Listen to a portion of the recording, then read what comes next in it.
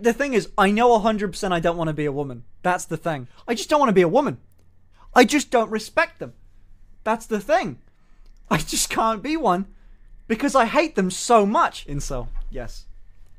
Because these fucking Stacys, they all want Chads.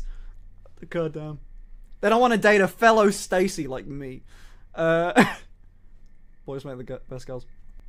My opinion of, of my gender is like whatever I'm doing now, where I'm a guy most of the time, and I can occasionally enjoy doing shit like this. That's what it is.